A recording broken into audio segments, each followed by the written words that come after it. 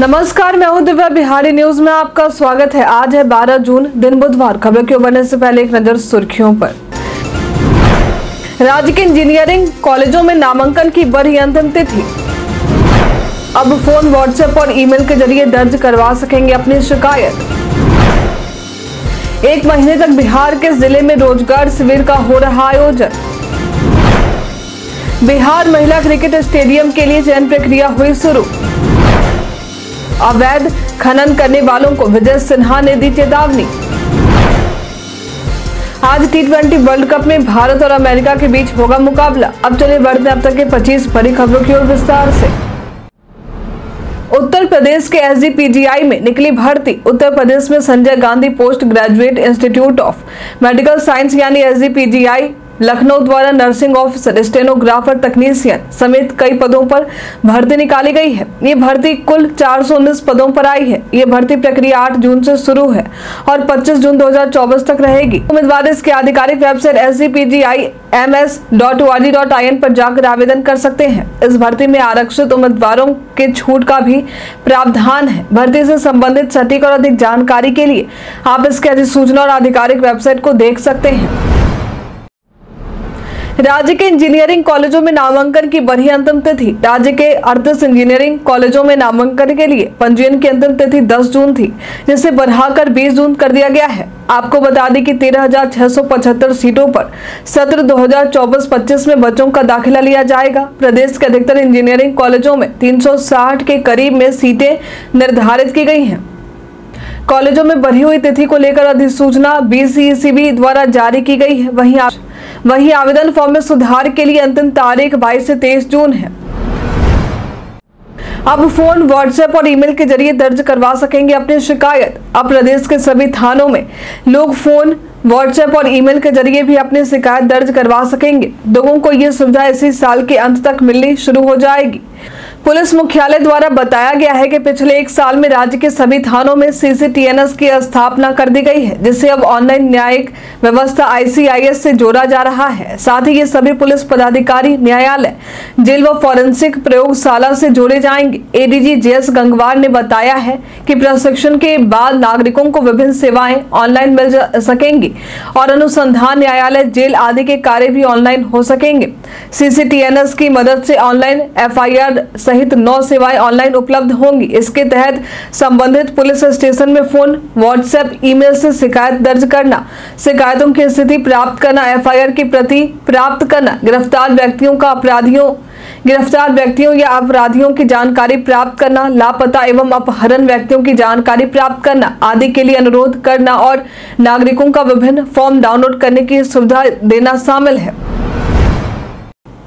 अगलगी की घटना से बचने के लिए करे ये काम। इस भीषण गर्मी में कई जगहों पर अगलगी की घटना सामने आई है। इसमें बचाव के लिए क्या करना चाहिए और क्या नहीं करना चाहिए, इसकी जानकारी आईपीआरडी बिहार ने शेयर की है। यदि रसोई घर फूस का है तो उसकी दीवार पर मिट्टी का लेप चढ़ाएँ और रसोई घर की छत को ऊँची रखें। गर्मी के दिनों में दिन का खाना नौ बजे से पहले और रात का खाना शाम के छह बजे के बाद ही बनाएँ। खाना बनाते समय सूती कपड़े ही पहने, आग बुझाने के लिए पास में पर्याप्त पानी और बालू या मिट्टी रखें। बच्चों को जलने वाली चीज़ें जैसे दिया, लालटेन, मोमबत्ती आदि से दूर रखें। पर्व या त्योहार या किसी शादी समारोह में टेंट लगे हैं तो बिजली के तार को टेंट के नीचे से ना ले जाएँ। जलते हुए माचिस की तिल्ली या सिगरेट इधर उधर ना फेंके। खाना बनाते समय पॉलिस्टर कपड़े पहनने से बचें। फ़सल कटने के बाद खेतों में छोड़े गए डंठल में आग ना लगाएँ। आपातकालीन स्थिति में हेल्पलाइन नंबर शून्य छह एक दो दो दो, नौ चार दो शून्य चार या दो शून्य पाँच और टोल फ्री नंबर एक शून्य सात शून्य पर संपर्क कर सकते हैं। पोर्टल परिमार्जन प्लस में सुधार के लिए जुड़ेंगी कई नई सुविधाएँ। पोर्टल परिमार्जन प्लस में जल्द ही ऑनलाइन डिजिटलाइज्ड जमाबंदी में सुधार के लिए कई नई सुविधाएँ जोड़ी जाने वाली हैं। आपको बता दें कि अभी इस पोर्टल पर केवल पुरानी ऑनलाइन जमाबंदी में ही सुधार किया जा रहा है। हालाँकि आने वाले दिनों में इस पोर्टल के माध्यम से जमाबंदी की सभी त्रुटियों में सुधार किया जाएगा। साथ ही यदि किसी मौजा की जमाबंदी किसी दूसरे मौजा में दर्ज हुई है तो उसमें भी सुधार किया जाएगा। विभागीय मंत्री डॉक्टर दिलीप कुमार जायसवाल ने बताया कि मूल जमाबंदी पंजी में जमाबंदी कायम है, लेकिन उसका डिजिटलाइजेशन नहीं हो पाया है। या मूल जमाबंदी पंजी में ही जमाबंदी कायम नहीं है तो उसका निदान भी परिमार्जन प्लस पोर्टल पर ही किया जाएगा। इन्होंने बताया कि जो जमाबंदी ऑनलाइन हो चुकी है, उसमें कई तरह की त्रुटियाँ सामने आई हैं। तीन घंटे में पटना से पहुँचेंगे दिल्ली। जल्द बुलेट ट्रेन चलाने की प्रक्रिया होगी शुरू। प्रदेश से कई लोग दिल्ली और बंगाल की तरफ़ जाते हैं। अधिकतर लोगों की यात्रा का ट्रेन सबसे सस्ता और बढ़िया माध्यम है, लेकिन यदि दूरी लंबी हो तो कई बार लोगों को परेशानी का सामना करना पड़ता है।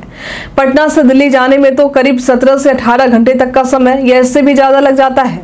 लेकिन क्या हो यदि ट्रेन महज तीन घंटे में ही पहुँच जाए? जी हाँ जल्द ही ये सपना भी साकार होने वाला है।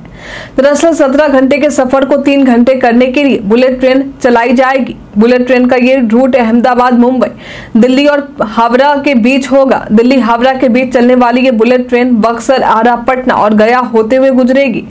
बिहार में बुलेट ट्रेन को दौड़ने बिहार में बुलेट ट्रेन को दौड़ाने के लिए एलिवेटेड ट्रैक का निर्माण किया जाएगा।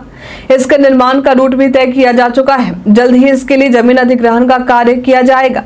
ट्रैक निर्माण 2026 में शुरू होगा और 2030 तक इसके पूरा होने की उम्मीद है।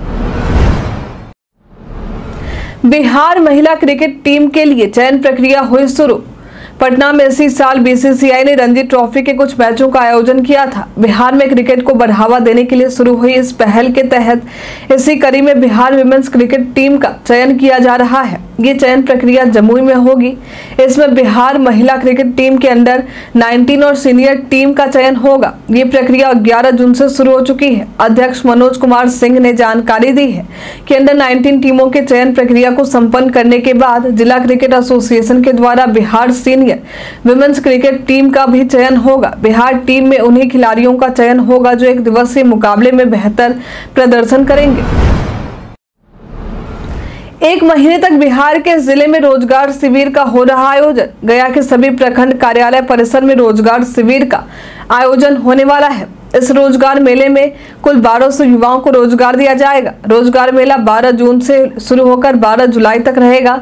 इसमें चयनित युवाओं को पंद्रह हज़ार रुपए से लेकर सत्ताईस हज़ार रुपए तक का वेतन दिया जाएगा। इस रोज़गार शिविर में भाग लेने के लिए आप सबसे पहले आधिकारिक वेबसाइट www.ncs.gov.in पर जाकर रजिस्ट्रेशन करेंगे।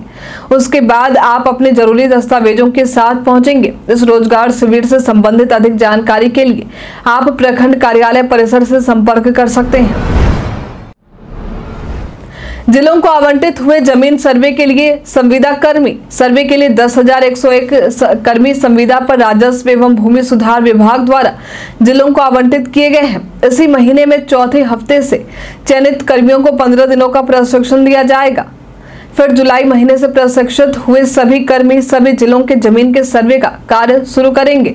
आपको बता दें कि चुनाव के कारण इन कर्मियों के तैनाती में देरी हुई है, लेकिन अब विशेष सर्वेक्षण अमीन विशेष सर्वेक्षण, लिपिक, विशेष सर्वेक्षण कानून और सहायक बंदोबस्त पदाधिकारी की तैनाती की जाएगी। इस तैनाती से ज़मीन सर्वे का काम भी तेज़ी से चलेगा। अस्पताल की किसी सर्विस के लिए आपसे जीएसटी की हो रही है डिमांड तो जाने ये बातें। कि आपने अस्पताल की किसी सर्विस के लिए जीएसटी दिया है। यदि हाँ तो आपको इस खबर को जानना बेहद ही ज़रूरी है। यदि नहीं तो भविष्य के लिए ये खबर आपके काम की हो सकती है। दरअसल, आपको पता होना चाहिए कि अस्पताल के सभी सर्विस के लिए जीएसटी नहीं देना होता है। आपको बता दें कि doctor diagnostic treatment and care पर किसी तरह की जीएसटी नहीं लगती है। वहीं अस्पताल के रूम में और दवाओं पर केवल पाँच प्रतिशत तक ही जीएसटी देनी होती है। रूम की सर्विस को लेकर भी तभी जीएसटी भरना होता है, जब रूम रेंट पाँच हज़ार रूपए से ज़्यादा का हो। परीक्षा धांधली मामले में यहाँ कर सकते हैं शिकायत। कई बार परीक्षा धांधली के मामले देखने को मिलते हैं। परीक्षा में धांधली को लेकर इन दिनों लगातार चर्चा देखने को मिल रही है। परीक्षा धांधली से लाखों बच्चों का भविष्य अधर में चला जाता है। कई बच्चे तो ना जाने कितनी मुश्किलों से और कितनी मेहनत करने के बाद परीक्षा देने आते हैं। ऐसे में यदि परीक्षा धांधली की खबर सामने आ जाए तो ये काफ़ी निराशाजनक हो जाता है। ऐसे में यदि आपने भी किसी संस्था में एडमिशन के लिए एंट्रेंस एग्ज़ाम को लेकर परीक्षा दिए हैं और अगर परीक्षा में धांधली हो जाती है तो परीक्षा के लिए भरे गए फॉर्म के पैसे भी बेकार चले जाते हैं। लेकिन आपको बता दें कि आप इन पैसों को वापस पाने के हकदार हैं। इसके लिए आप उपभोक्ता अधिनियम के तहत केस दायर कर सकते हैं। वहीं स्टेट लेवल के किसी परीक्षा में ऐसा होता है तो आप अपने राज्य के मुख्यमंत्री हेल्पलाइन पर कॉल या इससे जुड़े पोर्टल के माध्यम से शिकायत कर सकते हैं। अवैध खनन करने वालों को विजय सिन्हा ने दी चेतावनी। बालू माफियाओं को एक बार फिर से बिहार के उप मुख्यमंत्री व खान व भूतत्व विभाग के मंत्री विजय कुमार सिन्हा ने चेतावनी दी है। उन्होंने कहा है कि विभाग को न केवल भ्रष्टाचार मुक्त किया जाएगा, बल्कि औद्योगिक विकास और रोज़गार सृजन के अनुकूल भी बनाया जाएगा। उन्होंने सख्ती के साथ निर्देश दिया कि नियम के मुताबिक काम करने वालों के साथ किसी कीमत पर गलत नहीं होना चाहिए। नियम के साथ काम करने वालों को जो तंत्र परेशान करती है, उनसे सख्ती के साथ निपटा जाएगा।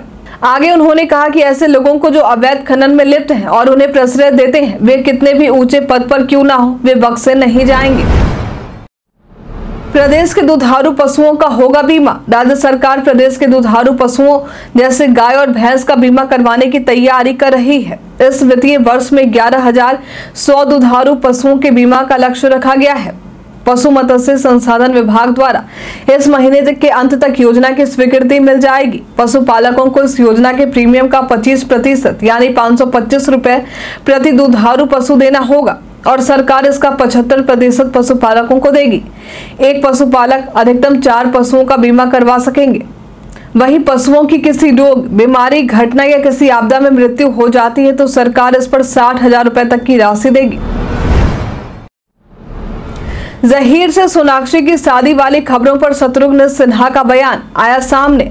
सोनाक्षी सिन्हा इन दिनों अपने बॉयफ्रेंड से शादी को लेकर चर्चा में है। कहा जा रहा है कि वे 23 जून को जहीर इकबाल से शादी कर सकती हैं। इस इंटरव्यू के दौरान सोनाक्षी ने अपने शादी को लेकर बताया है कि मुझसे ये सवाल हर समय पूछा जाता है। अब तो ये कान में जाता है और दूसरे कान से निकल जाता है। सबसे पहले तो इससे किसी को लेना देना नहीं होना चाहिए। दूसरी बार की ये मेरी चॉइस है तो पता नहीं लोगों को इतनी चिंता क्यों होती है। वही शत्रुघ्न सिन्हा ने शादी की खबर को लेकर कहा कि उन्हें भी बस इतना ही पता है, जितना मीडिया को पता है। जब सोनाक्षी सिन्हा उन्हें बताएँगी तो वो अपने पत्नी के साथ आशीर्वाद देने पहुँचेंगे। बिहार के इन जिलों में लू को लेकर रेड अलर्ट हुआ जारी। बिहार में लोग हीट वेव से काफ़ी परेशान नज़र आ रहे हैं। फ़िलहाल 14 जून तक गर्मी से राहत मिलने की कोई संभावना नहीं है। हालाँकि 15 और 16 जून को मौसम में बदलाव देखने को मिल सकता है। बिहार में आज बक्सर, भोजपुर, औरंगाबाद, नवादा, नालंदा, सिवान और अरवल के जिलों में कुछ स्थानों पर लू को लेकर रेड अलर्ट जारी किया गया है। वहीं पटना गया, सारण, रोहतास, शेखपुरा, गोपालगंज और वैशाली में कुछ जगहों पर लू को लेकर ऑरेंज अलर्ट जारी किया गया है। प्रदेश में आज का अधिकतम तापमान अड़तीस से चौवालीस डिग्री रहने की बात कही गई है। वही न्यूनतम तापमान 28 से 30 डिग्री तक रहने की बात कही गई है। सुप्रीम कोर्ट ने नीट की परीक्षा को रद्द करने से किया इनकार। नीट पेपर लीक का मामला सुप्रीम कोर्ट तक पहुँच गया था, जिस पर अब सुप्रीम कोर्ट का फैसला सामने आया है। अदालत ने अपने फैसले में साफ़ तौर पर कहा है कि नीट परीक्षा 2024 रद्द नहीं होगी और न ही नीट काउंसलिंग रुकेगी। हालाँकि इस मामले में अदालत ने एनटीए से जवाब मांगा है। साथ ही अदालत ने कहा है कि हम एनटीए की दलील भी सुनना चाहेंगे। आपको बता दें कि जस्टिस विक्रम नाथ और हसनुद्दीन अमानुल्ला की अवकाशकालीन पीठ इस मामले की सुनवाई कर रही है। गर्मी के दिनों में कड़ी धूप में निकलने से पहले इन बातों का रखे ख्याल। बिहार में इन दिनों झुलसा देने वाली गर्मी में कड़ी धूप से बचना बेहद ही ज़रूरी है। लेकिन यदि आप तेज धूप में भी निकल रहे हैं तो उस वक्त कुछ बातों को ध्यान में रखना ज़रूरी है। आईपीआईडी ने भी इसकी जानकारी शेयर की है, जिसमें बताया गया है कि स्थानीय मौसम समाचार पर ध्यान दे। पर्याप्त मात्रा में ठंडा पानी पिए। यदि प्यास नहीं भी लगी है तो थोड़ी थोड़ी देर पर पानी। तो रानी नींबू पानी, छाछ आदि का सेवन करते रहे। नंगे पैर बाहर ना निकले, गर्मी से राहत पाने के लिए हाथ पंखा साथ में रखें। काम के बीच में थोड़ी थोड़ी देर पर ब्रेक लेते रहे। हल्के रंग के ढीले और सूती कपड़े पहने। घर से बाहर निकलते समय छतरी या टोपी का या खुद को ढकने के लिए किसी कपड़े का इस्तेमाल ज़रूर करें। एयरटेल ने अपने तीन सौ पंचानवे रुपए वाले प्लान की बढ़ाई वैलिडिटी। भारतीय एयरटेल ने अपने वैलिडिटी प्लान को लेकर घोषणा की है। इसने आधिकारिक तौर पर कहा है कि वो अपने तीन सौ पंचानवे रुपए वाले प्लान की वैलिडिटी बढ़ा रहा है। आपको बता दें कि इस प्लान को कुछ दिन पहले ही लाया गया था और इसकी वैलिडिटी छप्पन दिन की थी, लेकिन अब इसी कीमत में यूज़र्स को इसका लाभ सत्तर दिन तक दिया जाएगा। आपको बता दें कि एयरटेल का ये प्लान जियो के तीन सौ पंचानवे रुपए वाले प्लान को टक्कर देता है। जियो के इस प्लान में चौरासी दिनों की वैलिडिटी मिलती है। कॉलेज या विश्वविद्यालय में यूजीसी ने दो सत्र में नामांकन लेने के प्रावधान को दी मंजूरी। कॉलेज या विश्वविद्यालय में एडमिशन लेने वालों के लिए एक अच्छी खबर सामने आई है। दरअसल, कॉलेज में एडमिशन लेने वाले बच्चों के लिए दो सत्र चलाए जाएँगे। इससे बच्चे अब साल में दो बार कॉलेज में एडमिशन ले सकेंगे। ऐसे में जो बच्चे पहले सत्र में कॉलेज में नामांकन लेने से चूक गए थे, वे दूसरे सत्र में एडमिशन ले सकेंगे। विदेशी विश्वविद्यालय और भारत में इग्नू में भी साल में दो बार एडमिशन लेने की सुविधा होती है। इससे बच्चों का साल पूरा बर्बाद नहीं होता। इन विश्वविद्यालयों में दो सत्र चलते हैं। इसी तर्ज पर अब यूजीसी ने भी भारत के अन्य विश्वविद्यालय में इस तरह के प्रावधान को मंजूरी दे दी है। सड़क परिवहन व राजगार सड़क परिवहन व राजमार्ग मंत्री बने नितिन गडकरी से बिहार को है बड़ी उम्मीदें। एक बार फिर से मोदी मंत्रिमंडल में सड़क परिवहन एवं राजमार्ग मंत्रालय की ज़िम्मेदारी नितिन गडकरी को सौंपी गई है। इस ज़िम्मेदारी के साथ ही इस बार नितिन गडकरी के ऊपर बिहार के उन एक्सप्रेस वे की भी ज़िम्मेदारी है, जो लंबे समय से प्रस्तावित है। भारत माला श्रृंखला के तहत बनने वाले इस एक्सप्रेस वे में कई जगहों पर अभी तक ज़मीन अधिग्रहण की भी प्रक्रिया पूरी नहीं हो पाई है। वहीं कई एक्सप्रेस वे तो ऐसे हैं, जिन्हें लेकर कोई जानकारी सामने नहीं आई है। इसके अलावा पूर्वांचल एक्सप्रेस वे को भागलपुर तक विस्तार दिए जाने के लिए एक सहमति बने एक साल से भी अधिक समय हो चुके हैं, लेकिन अभी तक ये मामला भी अटका हुआ है। प्रदेश में ऐसे और भी कई एक्सप्रेस वे हैं जिनका मामला अभी अटका हुआ है। जिसको लेकर केंद्र के सड़क परिवहन एवं राजमार्ग मंत्री नितिन गडकरी से काफ़ी उम्मीदें हैं। तेजस्वी यादव ने नरेंद्र मोदी को बताया, सबसे क... तेजस्वी यादव ने नरेंद्र मोदी को बताया सबसे कमज़ोर प्रधानमंत्री होंगे साबित। तेजस्वी यादव ने नरेंद्र मोदी के प्रधानमंत्री बनने पर प्रतिक्रिया देते हुए कहा है कि नरेंद्र मोदी इस बार सबसे कमज़ोर प्रधानमंत्री साबित होंगे। इस बार विपक्ष बहुत मज़बूत है। आगे मोदी मंत्रिमंडल की बात करते हुए उन्होंने कहा कि इस बार एक भी मुस्लिम समाज से मंत्री नहीं बनाए गए ये ठीक नहीं है। सबको साथ लेकर चलना चाहिए। मंत्रिमंडल में भी सभी वर्ग की नुमाइंदगी होनी चाहिए। बागमती नदी में नहाने गए तीन युवकों की डूबने से मौत। सीतामढ़ी के अक्ता गाँव में वाजपेयी टोला के नज़दीक बागमती नदी में मंगलवार को एक युवक और तीन किशोर स्नान करने गए थे। इस दौरान खबर लिखे जाने तक तीन लोगों की मौत और एक किशोर के लापता होने की खबर सामने आई। स्थानीय गोताखोरों ने डूबे हुए युवक और किशोर को पानी से निकाला। घटना की सूचना मिलते ही सीओ कृष्ण प्रताप सिंह, थाना अध्यक्ष विष्णुदेव कुमार, पुलिस बल के साथ घटनास्थल पर आए। इस दौरान एसडीआरएफ की टीम भी बुलाई गई। इस घटना के बाद से मृतकों के परिवार में मातम का माहौल है। इन सभी के सबों को सदर अस्पताल में पोस्टमार्टम के लिए भेजा गया है। आज टी वर्ल्ड कप में भारत और अमेरिका के बीच होगा मुकाबला। आज आईसीसी टी ट्वेंटी विश्व कप 2024 में भारत और अमेरिका के बीच मुकाबला देखने को मिलने वाला है। ये मुकाबला भारतीय समय के मुताबिक रात के आठ बजे न्यूयॉर्क के Nassau County International Cricket Stadium में होने वाली है। आज दोनों में से जो टीम मुकाबला जीतेगी वो सुपर एट के लिए क्वालिफाई हो जाएगी। टीम इंडिया न्यूयॉर्क की मुश्किल पिच पर अपने टीम संयोजन के लिए विचार कर रहा है, जिसमें रविंद्र जडेजा टीम से बाहर हो सकते हैं और कुलदीप यादव टीम में शामिल हो सकते हैं। इसके अलावा यशस्वी जायसवाल को ऑलराउंडर के तौर पर शामिल किया जा सकता है। कई कारणों से दर्ज है भारत इतिहास में आज की तारीख। आज के दिन वर्ष उन्नीस में भारत और पाकिस्तान को परमाणु परीक्षण के कारण जी एट के देशों द्वारा ऋण नहीं देने का निर्णय लिया गया था। आज के दिन वर्ष 2001 में सीमा मुद्दे पर भारत बांग्लादेश वार्ता शुरू हुई थी। आज के दिन वर्ष 2008 में प्रख्यात फ़िल्म निदेशक मृणाल सेन को दसवें ओसियाना सिने फ़िल्म समारोह में पुरस्कृत किया गया था। आज के दिन वर्ष 2016 में साइना नेहवाल ने दूसरी बार ऑस्ट्रेलिया ओपन खिताब जीता था। आज के दिन वर्ष उन्नीस में हिंदी की जानी मानी कथाकार और उपन्यासकार गीतांजलि श्री का जन्म हुआ था।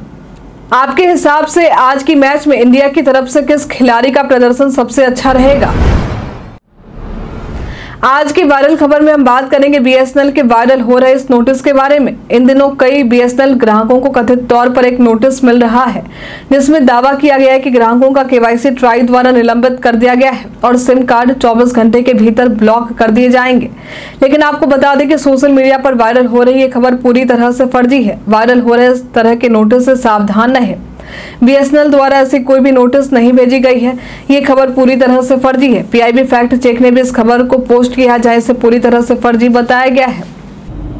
हम प्रतिदिन आपसे पाँच ऐसे ज़रूरी सवाल पूछेंगे और उसके जवाब बताएँगे, जो कि बीपीएससी, बिहार पुलिस दरोगा समेत एसएससी जैसे अन्य प्रतियोगी परीक्षाओं में काम आएँगे। सवाल इतिहास, बिहार स्पेशल विज्ञान, करंट अफेयर्स और भूगोल से रहेंगे। पूछे गए पाँच सवालों में आपने कितना सही उत्तर दिया ये हमें कॉमेंट करके ज़रूर बताएँ। तो हमारा पहला सवाल है हाल ही में विश्व हँसी दिवस कब मनाया गया है? ऑप्शन ए है तीन मई, ऑप्शन बी है पाँच मई, ऑप्शन सी है चार मई, ऑप्शन डी है छः मई। इसका सही उत्तर है पाँच मई। हाल ही में हार्वर्ड कार्यक्रम शुरू करने वाला भारत का पहला विश्वविद्यालय कौन सा बना है? ऑप्शन ए है लखनऊ यूनिवर्सिटी, ऑप्शन बी है lovely professional university, option C है चंडीगढ़ यूनिवर्सिटी, ऑप्शन डी है अलीगढ़ मुस्लिम यूनिवर्सिटी। इसका सही उत्तर है चंडीगढ़ यूनिवर्सिटी। हाल ही में पेंशन विभाग ने सरकारी सेवा निवृत्त लोगों के लिए कौन सा पोर्टल लॉन्च किया है? ऑप्शन ए है उदय पोर्टल, ऑप्शन बी है सहयोग पोर्टल, ऑप्शन सी है भविष्य पोर्टल, ऑप्शन डी है अपना साथी। इसका सही उत्तर है भविष्य पोर्टल। बिहार के किस ज़िले में ककोला जलप्रपात है? ऑप्शन ए है नालंदा, ऑप्शन बी है गया, ऑप्शन सी है नवादा, ऑप्शन डी है लखीसराय। इसका उत्तर है नवादा।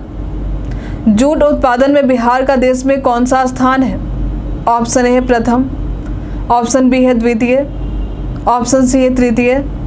ऑप्शन डी है चतुर्थ। इसका उत्तर है द्वितीय। बीते दिन हमारे द्वारा पूछे गए सवाल का आप लोगों में से बहुत सारे लोगों ने अपना जवाब हमें हमारे कमेंट सेक्शन बॉक्स में लिख कर दिया है। जिन्होंने हमारे द्वारा पूछे गए सवाल का जवाब देने के नाम है।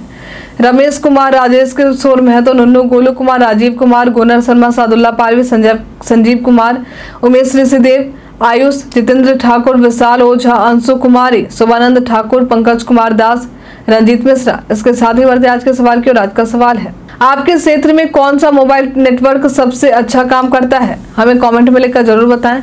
आज के लिए इतना ही। बिहार की तमाम खबरों के साथ बने रहने के लिए देखते रहे बिहारी न्यूज़। और साथ ही अगर आप यूट्यूब से देख रहे हैं तो चैनल को लाइक करना और सब्सक्राइब करना। अगर आप फेसबुक से देख रहे हैं तो पेज को फॉलो करना ना भूलें। धन्यवाद।